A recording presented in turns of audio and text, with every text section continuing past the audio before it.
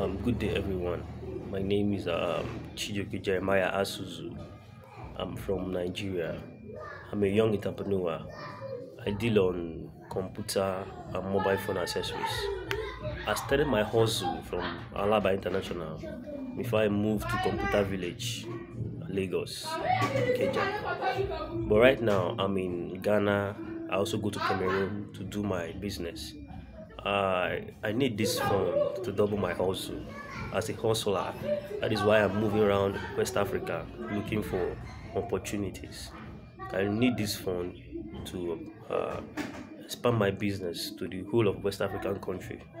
I'll be very very glad if I'm being considered uh, this uh, opportunity to give me to give me this fund so I can grow my business as a hustler. Back in the days in Nigeria and uh, Laba, when I was in Nigeria, I, I, I hustle a lot. Everybody know me as a hustler. I will so I will so be grateful if I'm helped by this program. Thank you and God bless you all.